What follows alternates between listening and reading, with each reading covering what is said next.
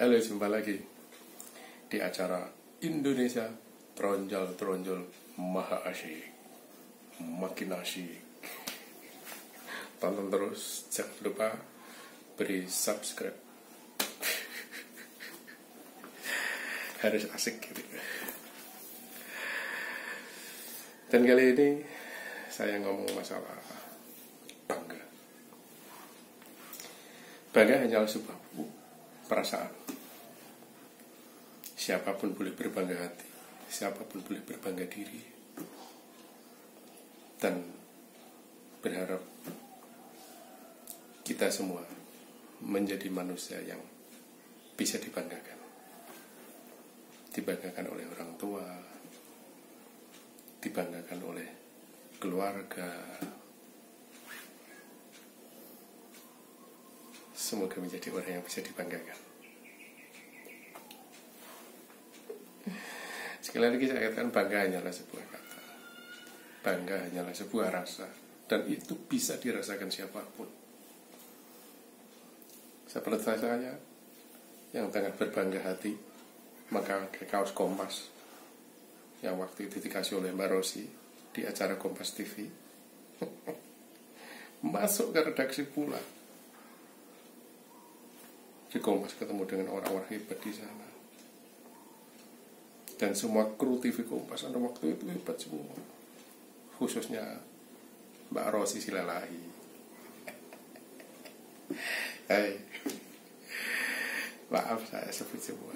Karena waktu itu memang pertama kali saya masuk TV dan hal itu membuat bangga diri saya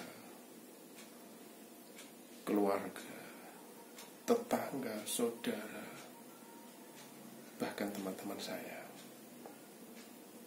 99%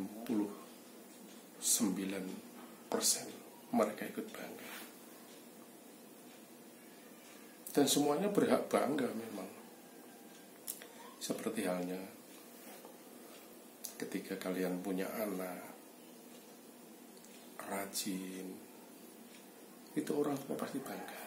Makanya jika kau saat ini masih menjadi anak pelajar rajinlah belajar, raih prestasi, agar orang tuamu bangga, saudaramu bangga, orang lain bangga.